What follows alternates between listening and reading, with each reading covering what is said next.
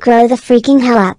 Stop acting so damn childish. If you don't like this user then just ignore them. Don't be a complete asshole and make hate channels out of them, just because you may not like this user. It doesn't give you the right to make a hate channel with abusive content aimed towards them, telling them to harm themselves etc. Just grow up for goodness sake. Making a hate channel out of someone just because you don't like them or their content is just childish and immature. This user will report you if you continue with this crap, and it won't be just to YouTube, but also the police. So, to anyone that has made a hate channel out of this user, then delete it now or they will be getting the police involved and have you done for bullying and harassment. This has to end, now.